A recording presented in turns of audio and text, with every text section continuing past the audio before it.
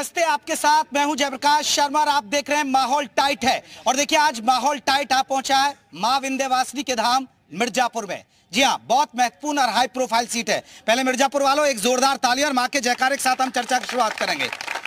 तो देखिए, मिर्जापुर की जिस तरह मैं ज़िक्र कर रहा था, क्योंकि महत्वपूर्ण सीट इसलिए केंद्रीय मंत्री अनुप्रिया पटेल यहाँ से चुनावी मैदान में है। यानी ये बीजेपी गठबंधन के खाते में है ये सीट और यहाँ पर अनुप्रिया पटेल, अपना दल एसके यहाँ से उम्मीदवार हैं। 2014 में वो चुनाव जीती 2019 में जीती, फिर 2024 में उन पर हैट्रिक बनाने की ज़िम्मेदारी है कि वो बना पाएँगे, नहीं बना पाएँगे, जिस तरह प्रधानमंत्री नरेंद्र मोदी की भी हैट्रिक दाप पर लगी है। इसके अलावा आपको बता दें, रमेश बिंद यहाँ से समाजवादी पार्टी कांग्रेस गठबंधन के उम्मीदवार हैं। रमेश बिंद, बीजेपी के बागी नेता हैं। भदोई से सांसद थे, टिकट नहीं मिला तो मिर्जापुर से उन्हें लड़ा दिया गया समाजवादी पार्टी की तरफ़ से। अगर हम बात करें बीएसपी की तो बीएसपी की बात करें तो यहाँ से मनीष, आपको बता दे, त्रिपाठी उम्मीदवार हैं, वो चुनावी मैदान में लेकिन अनुप्रिया पटेल बहन, उनकी बहन है जो, अपना दल के के, उम्मीदवार भी, जो पटेल उम्मीदवार उतार गए वो भी उनके लिए टेंशन बढ़ा रहे हैं। तो यहाँ मुकाबला बड़ा दिलचस्प होने जा रहा है मिर्जापुर में, लेकिन थोड़ा सा समीकरण और समझा देते हैं, क्योंकि पूर्वांचल में अब देखिए आखिरी फ़ेज़ में वोटिंग हो रही है और एक तारीख को यहाँ वोट डाले जाएँगे। तो यहाँ कास्ट फैक्टर बहुत हावी नज़र आ रहा है। तो थोड़ा सा कास्ट फैक्टर हम जातीय समीकरण समझा देते हैं आपको। पटेल वोटरों की संख्या की बात करें तो ढाई लाख के आसपास पटेल वोटर हैं। इसके अलावा दलित वोटरों की बात करें तो करीब दो लाख के आसपास है। एक लाख पचानवे हज़ार दलित वोटर हैं। इसके अलावा ब्राह्मण वोटरों की भी खासी संख्या है यहाँ। एक लाख साठ हज़ार से भी ज़्यादा यहाँ ब्राह्मण वोटर बताए जा रहे हैं। इसके अलावा बिंद वोटरों की भी ठीक ठाक संख्या है। एक लाख चालीस हज़ार यहाँ पर बिंद वोटर हैं। इसके अलावा मुस्लिम वोटरों की भी ठीक ठाक संख्या है। एक लाख उनतीस हज़ार के आसपास में यहाँ मुस्लिम वोटर हैं। और वैश्य वोटरों की बात करें तो एक लाख तीस हज़ार के आसपास यहाँ पर वोटर है। ये कास्ट फैक्टर उम्मीदवार आपको मैंने बता दिया, लेकिन किसका माहौल टाइट है? क्या यहाँ बीजेपी गठबंधन जीतेगा या सपा कांग्रेस का जो गठबंधन है, वो यहाँ जीतेगा? जल्दी से अपने सहयोगी राजेश मिश्रा से हम जान लेते हैं। राजेश, जल्दी से समीकरण क्या बन रहा है इस बार? जी, आपको बता दें कि इस बार चारों पार्टियाँ अच्छी लड़ रहे हैं और आपको बता दें कि अभी कल यहाँ मोदी जी का जनसभा हुआ है तो कुछ माहौल बना है कि इस समय बीस अनुप्रिया पटेल हुई हैं। मगर ये आपको देखा जाए तो सपा का गठबंधन जो का, कांग्रेस सपा का है वो भी बहुत सुव्यवस्थित तरीके से लड़ रहे हैं। उनका भी पक्ष राजा भैया वगैरह कर रहे हैं तो कहीं ना कहीं थोड़ी लड़ाई में आ गए वो नहीं तो पहले अगर बात करें क्योंकि कास्ट फैक्टर में बहुत हावी देख रहा हूँ जगह जगह जा रहे हैं। यहाँ भी कास्ट फैक्टर मायने है? जी हर जगह कास्ट फैक्टर महत्वपूर्ण होता ही है। यहाँ भी, भी महत्वपूर्ण ये है कि अब पटेल वोट भी बट रहे हैं। आपको बता दें कि अनुप्रिया की जी की बहन भी पल्लवी पटेल हैं वो भी अपने समर्थक को नुकसान दिए हैं। तो, तो कुछ नुकसान ज़रूर पहुँचाएँगे। चलिए आप भी पत्रकार हैं सर। कैसे देखते हैं यहाँ का माहौल? देखिए जनता ने यहाँ माहौल टाइट कर रखा है। हम्म।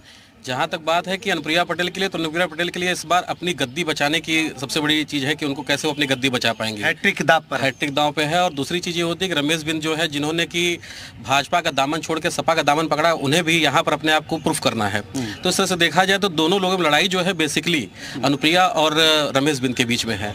अब बात जो जातीय समीकरण की आती है तो यहाँ पर जो बिंद वोटर्स हैं निश्चित तौर पर वो पूरी तरह से जो है समय रमेश बिंद के साथ है और पटेल वोटर्स जो हैं वो अनुप्रिया के साथ हैं। बात आती है अब यहाँ पर वैसे वोटर्स जो हैं ब्राह्मण वोटर्स हैं ठाकुर वोटर हैं उसके अलावा कोल जो कि वो भी एक यहाँ पर एक जीत के लिए जो ज़रूरी कदम होता है उसमें वो मजबूती प्रदान करते हैं हम्म। तो इस प्रकार से अभी तक कोल वोटर्स का भी पता नहीं चल रहा है कि वो किस तरह अभी दिख रहा है कि वो बट रहे हैं हम्म। और जो बात आ रही है बसपा तो फ़िलहाल बसपा मुझे लगता है कि वो लड़ाई से फ़िलहाल अभी लड़ाई दो ही लोगों के बीच में है तो फ़िलहाल अभी तो माहौल मतलब टाइट है। माहौल टाइट देखिए ये पत्रकार है जल्दी से और भी पत्रकारों से पूछ लेता हूँ। सर क्या माहौल टाइट लग रहा है इस बार? माहौल ये है कि पहली बार जो जनता को लग रहा है हम्म। कि पिछली बार 2014 में उन्होंने सपा बसपा को अलग से रहा था अनुप्रिया ने। हम्म। उन्नीस में सपा बसपा एक थी तो भी उन्होंने रहा था। इस बार भाजपा का ही सांसद सपा का दामन थमे हुए है। हम्म। और जितनी भी वोट जातियाँ हैं सबकी वोट बन रहे हैं कोई अपने को दावा नहीं कर सकता। हाँ अनुप्रिया के जो काम है वो निश्चित रूप से जो न्यूट्रल वोटर है वो उसके लिए उनको आकर्षित कर रहा है। क्या समीकरण बन रहे सर? देखिए जो जो जातिगत अगर आंकड़े की बात जैसे आपने कहा जातिगत आंकड़े हैं वो हर चुनाव में रहते हैं। हम्म। मगर जिस तरीके से काम हुआ है अगर काम की बात करें तो दस सालों में अनुप्रिया ने वास्तव में काम कराया है। हम्म। और लड़ाई उनकी है हैट्रिक भी लगाने वाली हैं हम ये कह सकते हैं कि संघर्ष है। मगर राजा भैया जो बयान दिया उसका सर बिल्कुल उसका असर है मगर वो उसका असर छिटपुट है। उस तरीके से असर नहीं देखा जा रहा है जिस तरीके से असर होना चाहिए था। हालाँकि उन्होंने कहा है कि हम जो है इंडी गठबंधन के साथ हैं उन्होंने समर्थन भी दे दिया उनकी पार्टी भी आई थी और लोगों ने लेटर भी लिख कर दिया है। मगर जहाँ एक बात आती है मोदी विजन की बात आती है तो वो सारे फैक्टर खत्म हो जाते हैं। और जिस तरीके से कल मोदी मोदी लहर आपको लग रहा है नज़र आ रही है अभी? देखिए मोदी लहर नज़र नहीं है। कल मोदी जी ने जो जन, जनसभा की है उसका असर दिखा है और लोग मोदी को देखने और सुनने के लिए मोदी हैं। लहर नज़र आ रही है? निश्चित रूप से। चलिए अब मैं ओपन चर्चा करता हूँ और जल्दी से लोगों से पूछता हूँ कि माहौल टाइट क्यों है? क्योंकि बीजेपी और कांग्रेस सपा आम आदमी पार्टी तमाम समर्थक आ गए। तो चलिए सर बीजेपी आ रही है जा रही है? आ रही है कि जाएगी एकदम हंड्रेड परसेंट आ रही है। माहौल आपका टाइट है लग रहा है? माहौल टाइट नहीं है। मैं ये मैं ये कह रहा हूँ अनुप्रिया पटेल यहाँ जीत जाएँगी। जी जीत नहीं जाएँगे कोई चुनौती नहीं है। चुनौती नहीं है क्या? हाँ हाँ नहीं नहीं एकदम नहीं है चुनौती तो बीजेपी जीत रही है? बिल्कुल जीत रही है। गठबंधन जीत जाएगी? हैं? नहीं कोई बात नहीं आ रही आ रहा हूँ आ रहा हूँ सबके आ रहा हूँ आपके नहीं गठबंधन जीत रहा है यहाँ। बिल्कुल हमारा गठबंधन एनडीए का जीत रहा है। गठबंधन जीत जाएगा। जीत जा रही है हमारी सर ये दावा ठोक रहे हैं गठबंधन जीत रहा है।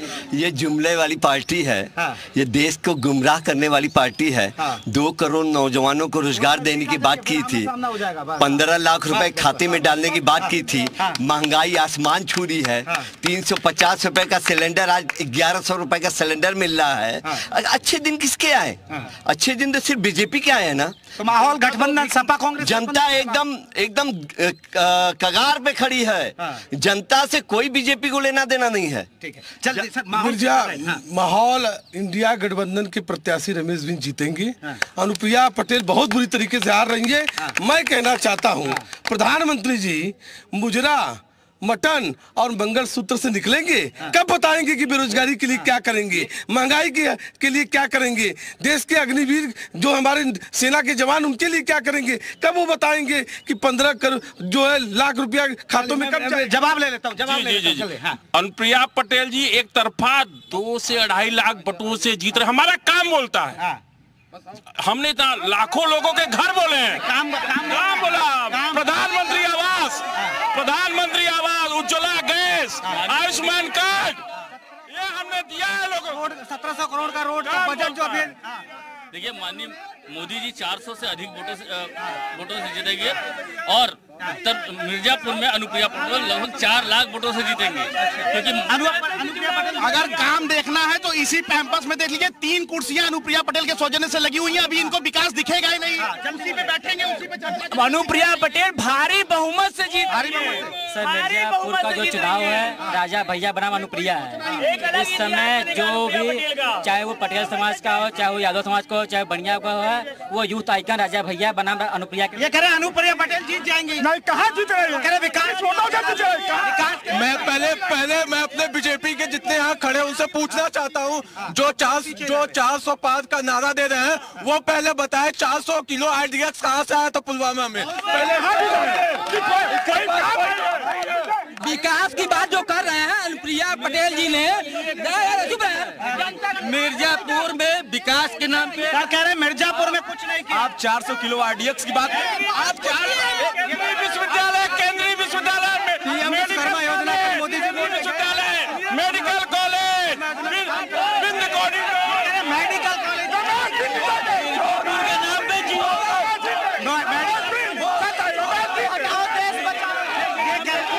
ये कह रहे मेडिकल कॉलेज दिया ये कह रहे मेडिकल कॉलेज दिया बहुत सारी सुविधाएँ दी देखिए एक भी उद्योग मिर्जापुर में कारपेट का उद्योग था, बर्तन का उद्योग था, लाइट छपड़ा का उद्योग था, एक भी होगा ये उद्योग लगाए हो, जहाँ हज़ार, दो हज़ार आदमी काम करते हो। एक एक देखिए, अपने, अपनी बात रखे, अपने अपने अपने, अपनी बात, अपने अपने रुके हाँ हाँ। घोटालेबाज ये लोग हैं। शराब का घोटाला किए हैं लोग। शराब घोटालेबाज कैसे जनता से वोट कैसे मांग रहे आप वही की सरकार में, मथुरा में राम यादव ने जवाहर पार्क में कब्जा कर रखा था।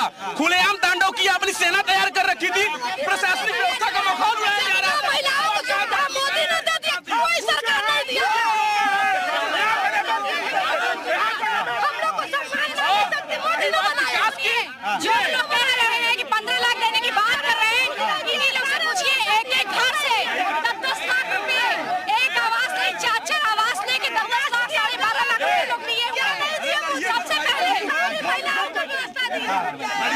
चले चले चले चले मैं मैं एक मिनट, एक मिनट, नहीं, एक मिनट, एक मिनट। भार- भारतीय जनता पार्टी के गुंडे। जनता को जो है मारा है। अपनी बात नहीं करें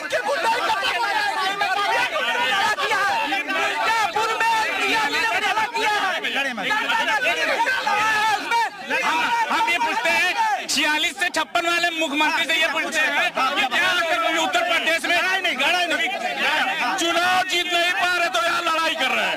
ये जनता के बीच नहीं है हम जनता के बीच भाई साहब यहाँ डायलिसिस सेंटर नहीं था। केंद्रीय मंत्री अनुप्रिया पटेल नहीं ले आया। गंगा गंगा जी पर एक एक करके एक एक करके एक एक करके एक एक मुद्दों पे प्लीज़ प्लीज़ मुद्दों पे बात मुद्दों पे बात मुद्दों पे बात हो। बाहर पलटवार एक बार एक बार एक बार मुद्दों पे मुद्दों पे। नहीं आपको क्यों लग रहा है गठबंधन आपको क्यों लग रहा है गठबंधन क्यों हावी है ठीक है भाई बाहर वो जवाब दे, वो जवाब दे। ठीक है।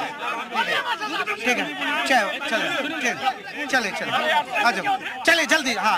आपको क्यों लग रहा है कि गठबंधन आप आप लोग जीत जाएँगे? हम लोग ज़मीन पे गरीबों के लिए काम किया, प्रधानमंत्री आवास, उज्ज्वला गैस, जनता मोदी के साथ है। ये चुनाव हार चुके हैं। चुनाव मिर्जापुर के अंदर सैनिक कॉलेज महाविद्यालय केंद्रीय college medical college wind corridor ये सब आग बंद करने से अंधेरा नहीं हो जाएगा। वो लोग बंद किए हुए हैं। सिलेंडर का वादा ठीक है ठीक है। मैं हम छियालीस से छप्पन वाले मुख्यमंत्री से पूछना चाहते हैं कि अमृत योजना ये जो चल रहा है जो काम नहीं हो रहा है ये सत्ताईस के लिए छोड़े हैं क्या? जनता को जो सड़कों से अगर सड़क पे जाए। पूर्व इनका नगर पालिका अध्यक्ष बीस करोड़ का घोटाला किया है। बिल्कुल जीत रहा है। इंडिया गठबंधन जीत रहा है। चार सौ